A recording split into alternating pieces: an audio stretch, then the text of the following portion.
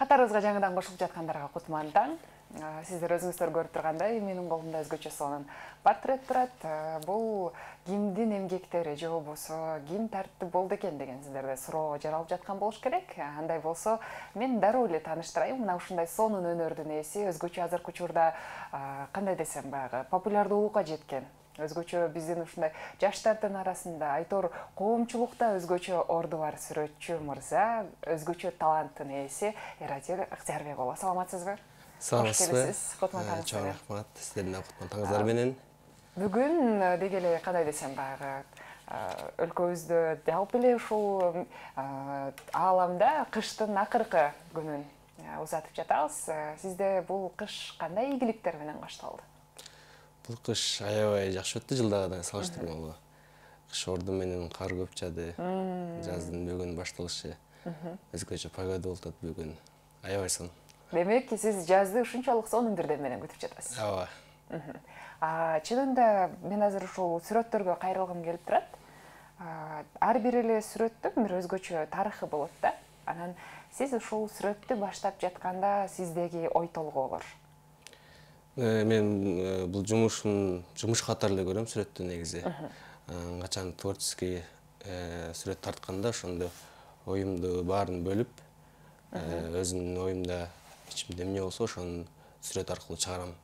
Буларды жумуш катары эле мага келип түшкөн сүрөттөр заказдар десем болот. Эң сонун. Демек сиз бул сүрөттөрдү буйрутма менен да тартасыз? Буйрутма менен. Балким баягы жакында сегизинчи март келатат жаз келди эле айымдардын майрамы башталат эмеспи. Анан азыр дароо эле баягы сегизинчи мартка карата сүйүктүүсүнө апасына эжесине айтор сүрөттөрдү тарттыргандар көп болсо керек. Ооба бизге күн сайын эле жазып турат бул ушундай сүрөттөрдү күн сайын тартып турабыз буйрутмалар күндө кабыл алабыз. Өзгөчө айымдардын сегизинчи март майрамы менен э, деп балдар буйрутма бергендер көп.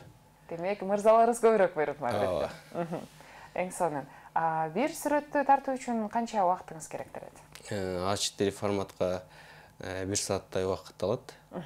А триге андан бир аз көбүрөөк убакыт бир аз көбүрөөк э? Эгер сыр болбосо э, кандай каражаттарды колдоносуз? Мисалы бул сүрөт башкалардан айырмаланып да турат экен. Бул ошондо кагаздын кайсыл түрү кайсыл эмне каражаттарды колдоносуз болгону эле бул сары кагаз анан Э, болушунча карараак карандаш менен тартылган сүрөт ошол эле айырмасы башка сүрөттөрдөн салыштырмалуу. Башка сүрөттөрдөн ошол гана айырмасы кандай десем баягы ар бир эле адам өзүнүн бир жеке жашоосунда болобу же болбосо өзүнүн жашап жаткан ар бир күнүндө бир бир нерседен мындай шык алып эргүү алат да. Анан сизге болгон эргүүлөр баягы соц тармактардан көрүп калабыз өзгөчө сүрөт тартаарда тоо койнуна кетип калган дагы. Жайыңыз бар экен да? Ооба мен негизи чарчаганда тоого чыкканда эс алам. Анан сүрөт тартып отурганда мага дагы да көбүрөөк чыгат. Башкаларга да жакса керек деп аны видеого да түшүргөнгө аракет кылабыз демек бул сиздин сүрөтчүлүктөн сырткары кошумча видео да тартасыз? Ошондой болуп калат соц тармактарга башка элдер менен бөлүшкөнгө видеого тартып жасап жакшылап чыгарганга аракет кылабыз Э, мындай ар бир нерсенин алгачкысы жакшы деп коет го анан сиздин ушул сүрөтчүлүккө келген эң алгачкы кадамдарыңыз? Э, эстесем бала кезден садикке барган э, убактан башталган экен. Ал убакта мен сүрөт тартам негизи жакшы туюп сезбеген экенм кийин бешинчи алтынчы класстан уже сүрөт тартылат экен да деген ой пайда болгон менде. Андан кийин кружокторго бардым жетинчи классымдан баштап. Э, мени окуткан чыныбек козукеев агайым ушул убакка чейин э, жардам берип турат ошол агайдын салымы чоң буга. Мен өсүп атканыма эң сонун анан э, ушул чыныбек агай деп калдыңыз. Өзүңүздүн устаттарыңыз тууралуу да айта кетсеңиз. Ошол эң биринчи эле менин агайым чыныбек козукеев деген агайым. Аябай көп ушул убакка чейин поддержкасын берет жардамдарын берет. Э, мага болгон э, окутуп билим берген салымы чоң ошол агайымдын демек сиздин ушул э, калем кармап сүрөт баштап калганыңызга дагы эң чоң салымы мына ушул агайга экен түз эфирден пайдаланып агайыңызга дагы ыраазычылыгыңызды билдирип кетсеңиз болот. Агайымдын иштерине биринчиден ийгилик дагы да көп таланттуу балдарды чыгарганга дагы да иштерине ийгиликтерди каалайм башка агайларыма да ийгиликтерди каалайм. Ошол.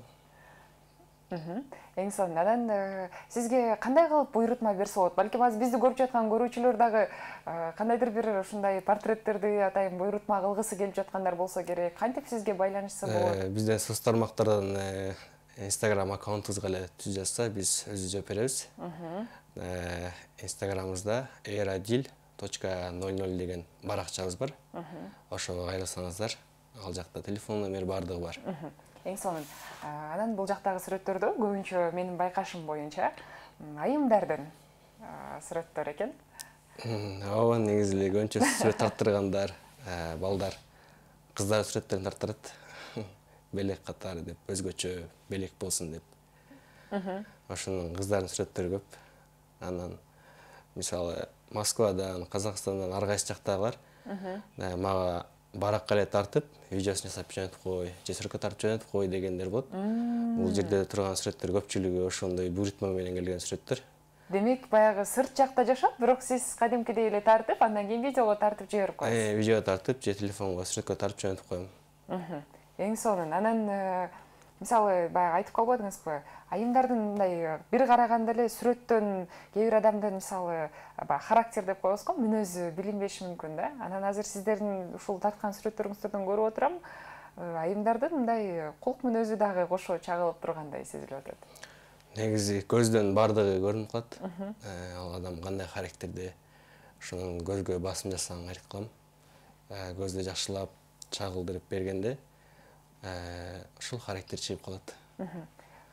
Менин билишимче ушул сүрөт тармагында деги эле искусство тармагында ушул сүрөт тартып атайын өзүнүн мындай өнөрлөрүн дагы дагы улантып келаткан көптөгөн тааныштарым бар. Алардын ичинен азыр көпчүлүгү өздөрүнүн көргөзмөлөрүн да уюштуруп келет да.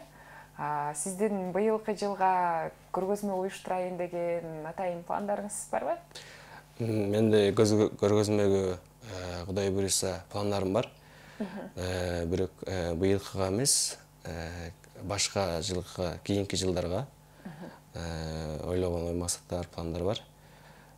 Чоң масштабтуу көргөзмө ачам дегенчи. Международный деңгээлде. Кудай буюрса ал учурга да жетебиз. Эң сонун кызыккан мисалы жазгандар көп эле болот болуш керек. Мисалы мен деле кызыгып баягы сүрөт тармагына кызыккандыгым үчүнбү мисалы портрет тартуунун да бир өзгөчө сырлары болсо керек. Анткени жөн эле баардык эле адам сүрөт тармагында жүргөн адамдардын баары келип эле портрет тарта бербейт да. Анан негизги эң башкы бир сыры.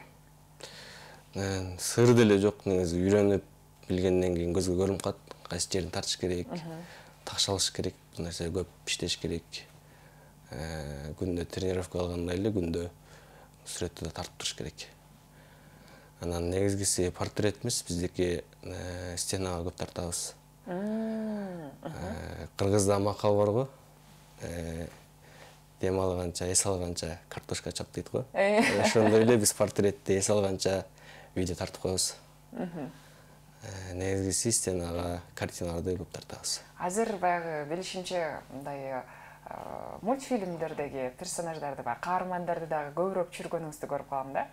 Анан ошол баягы кандай десем дубал бетине түшүргөн сүрөттөрдүн баасы канча болот? Э, стенага дубал бетине квадрат метрге эсептейбиз эгерде он квадраттан көп болсо э, квадрат метрин эки миң сомдон тартып беребиз. Краска баары ичинде. Э, биз өзүбүз алып барабыз анын баарын заказчик убарып албош үчүн демек сиз өзүңүзгө керектүү кандай баягы краскалар боектор керек экенин сиз өзүңүзгө ылайыктап аласыз? Ооба. Эң сонун. Чынында кандай десем мисалы жогоруда айтып калдыңыз баягы бир саат убакыт кетет ушундай портрет тартканга депчи. Анан биз кечээ күнү да сиз экөөбүз сүйлөшүп жатып ошол. Балким менин да сүрөтүңүздү тартып көрөсүз деп айтып калдым эле э? Ооба мен эфир кыска болгондуктан мен сиздин сүрөтүңүздөн бир аз тарта келгем кичинекей барак болсо да. Ооба урматтуу көрүүчүлөр баарыңыздар көрүп тургандай менин колумда өзгөчө мына ушундай сулуу айымдардын сүрөттөрү турат. Аны менен катар азыр эразил мырзанын дагы менин жеке өзүмдүн да портретимди тарта келген жайы бар экен. Азыр чогуу биргеликте көрөлү анда балким мага абдан таң калыштуу болуп жатат азыр.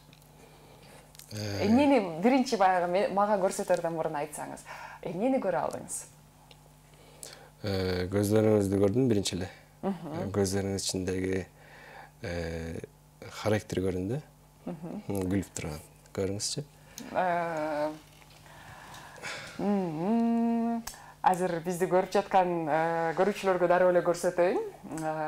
Мынакей эгерде баарыңыздар көрүп турсаңыздар мына ушундай өзгөчө сонун өзүмдүн мүнөзүм менен кошо чагылдырып берген сүрөттөрдү дароо эле эрадил мырзага байланышып тартырсаңыздар болот бул сүрөттөгүдөй болуп мен бул жакты карашым керек болуп калат экен айтор түз караган эмесмин эң сонун чоң рахмат. Мына ушундай өзгөчө сонун э, кандай десем бүгүнкү кыштын акыркы күнү жана жаздын биринчи күнү менен мага өзгөчө сонун белек болуп отурат э, баарыңыздар ушундай сонун буйрутмаларды берсеңиздер болот анан э, сизге дагы бир суроо баягы деги эле өзүңүз жөнүндө көпчүлүк учурда баягы айта бербейсиз да? Кайсыл жактын кууну болосуз өзүм ош областына караштуу алай районунун гүл чай айылында туулуп өскөм ошол жакта тогузунчу класска чейин окугам андан кийин тогуз бүтүп торгонбай садыков атындагы көркөм сүрөт академиясынын колледжинде окудум ошол жакты бүтүрдүк андан бери ушул кесип менен иштеп эмгектенип келебиз демек бул сиздин азыркы учурда баягы кесибиңизге да айланган. Балким мисалы көпчүлүк учурда сүрөтчүлөр сырт жакка чыгып барып анан атайын ошол жактан да өзүнүн билимин тереңдетип дагы дагы мындай практика алмашып келишет. Анан сиз дагы бир кайсы бир өлкөгө барып балким ошол жактын бир искусствосуна аралашып келейин деген пландарыңыз?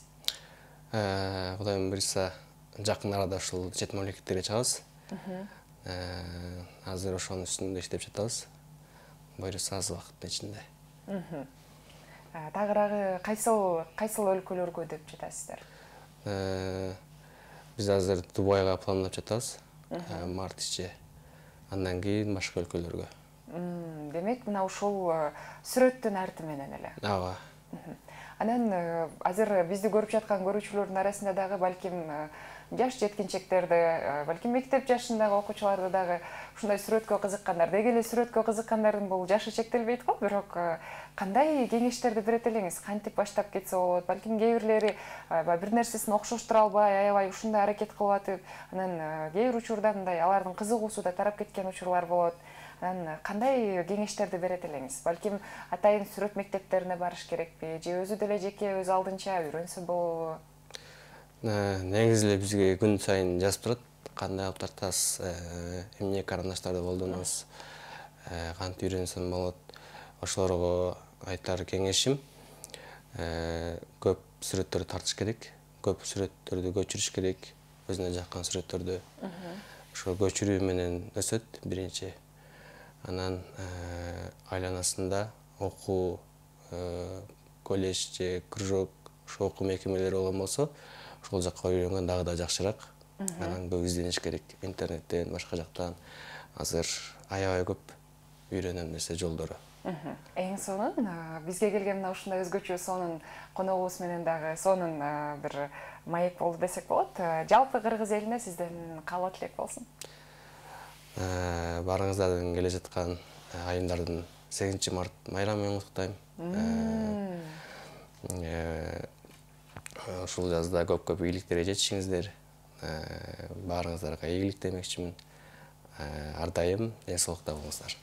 Айтканыңыз келсин сиздин дагы алдыдагы пландарыңызга ийгилик каалайбыз. Буюрса сизди жогорку ушул бир кандай десем деңгээлдеги бийик тепкичтерден көрөлү башка өлкөлөргө дагы атагыңыз чыксын. Жалгыз эле кыргызстанда эмес мындай өнөрдүн арты менен сөзсүз түрдө дүйнөнү кыдырганга толук кандуу мүмкүнчүлүгүңүз бар чоң рахмат сиздерге да ишиңиздерге ийгилик. Рахмат. Урматтуу көрүүчүлөр бизге келген коногубуз өзгөчө таланттын ээси азыркы учурдагы жалпы эле ушул өнөр өнөр сүйүүчүлөрүнүн күйөрмандарынын ушундай бир өзгөчө сүйүүлөрүн тартуулап турган биздин сүрөтчү мырза эрадил ыктыярбек болу болуп